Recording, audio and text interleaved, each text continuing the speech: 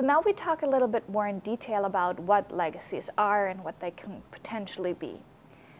One of the things I mentioned is the immediate impact of the event, the temporarity of the three weeks the Olympics are staged in Sochi and what this means. So for example, when we saw the opening ceremony, there are a few things that really stood out, being them positive or negative. The negative ones, for example, was the ring that didn't light up. The positive ones was the amazing performance of the ballet, the War and Peace. So these are temporary legacies that will remain with us and with Sochi for years to come. Then you can look at other legacies that are particularly important for the host. One of them, for example, is economic activity. Now, for about 10 years, meaning starting before the bid, then once you get awarded the, um, the right to host, until about a year after the event in itself, you see an increase in economic activity. However, that economic activity is primarily in the construction sectors and drops very quickly after the event is over. Then, of course, we have the legacy of global recognition. Everybody knows now where Sochi is. Everybody knows about the Russians that wanted to stage the perfect games and use this, these games to transform a usually summer resort also into a winter resort and make it the destination for winter sports in Russia. Other legacies include, for example, transportation. When you look at the airport in Sochi, it had to be widened and broadened enough to welcome hundreds of thousands of visitors, which is not likely to happen after the games are over.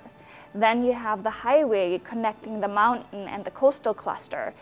This also is being built to a capacity to serve the Olympic Games, yet after the Games are really 300,000 people using this highway to the extent it is now built for. Then also we have the potential oversupply of hotel space that was created to accommodate the athletes, created to accommodate the media, created to accommodate visitors. Now once these leave, how much is oversupplied? How much was oversupplied?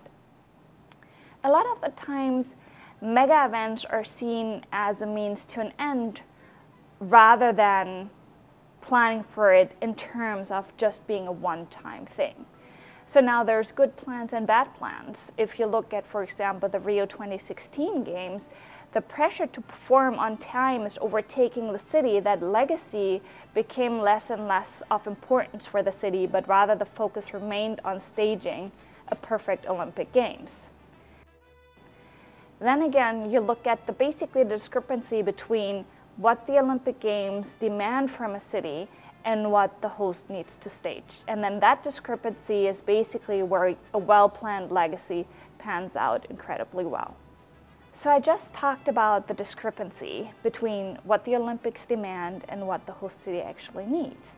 And in that discrepancy is basically looking at do the Olympic Games distort the plan of a host city or do they catalyze it? Do they bring up front important projects that are necessary for the population? In that planning discrepancy, most of the time, cities that invest before the bid, most of the money, plan long term. Let's say, for example, Barcelona planned about 25 years before they actually staged the Olympic Games. These cities have traditionally reaped the most benefits. One other example of legacies is the maintenance cost that has to be brought up or staged every time or every year um, for the venue in itself. As an example, the bird's nest in Beijing right now costs 11 million each year, yet is not used at all. So these are the types of legacies we want to avoid.